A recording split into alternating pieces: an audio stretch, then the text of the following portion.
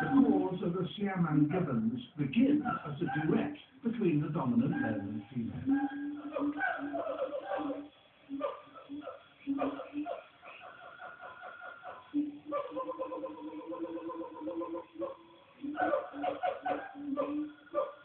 The rest of their families join in, and it results in a frenzy of activity.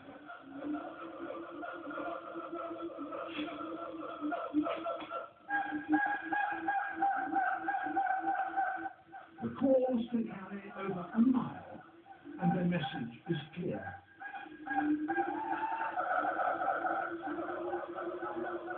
They tell any neighboring Siamangs, this is a to keep out.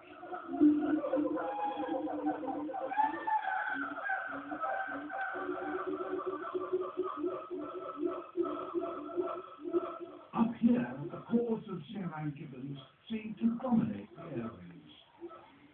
But jungle's incredible diversity,